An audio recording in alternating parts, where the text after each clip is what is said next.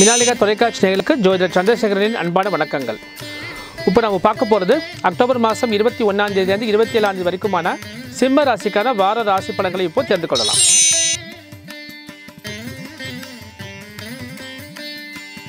சிம்ம ராசிக்காரங்களுக்கு சிம்ம ராசியில் பிறந்தவங்களுக்கு உங்களுடைய ராசி அதிபதி வந்து சூரியன். சூரியன் வந்து நீச்சம் பெற்று மூணாம் இடத்தில் சஞ்சாரம் பண்ணுறாரு கூடவே சுப கிரகங்களாகிய குருவும் புதனும் இணைந்து இருக்காங்க. இது வந்து ஒரு நல்ல அமைப்பு. சுப கிரகங்கள் சேர்ந்து இருக்கிறதுனால பணப்புழக்கம் இன்க்ரீஸ் ஆகும். மன உறுதி உங்களுடைய தைரியம் தன்னம்பிக்கை இதெல்லாம் பல மடங்கு வந்து கூடும். ஆனால் உங்களுடைய உடல்நலத்தில் கொஞ்சம் எச்சரிக்கையாக இருக்கிறது ரொம்ப நல்லது. உடலில் உஷ்ண ஆதிக்கங்கள் கொஞ்சம் அதிகமாகும்.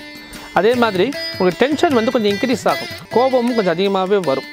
இந்த பிபி ஹார்ட் ப்ராப்ளம் இருக்கிறவங்களுக்கு கொஞ்சம் எச்சரிக்கையாக இருக்க வேண்டியது இருக்குது ஏன்னா நாலாம் இடத்த சந்திரனும் சனியும் சம்மந்தப்படுறாங்க.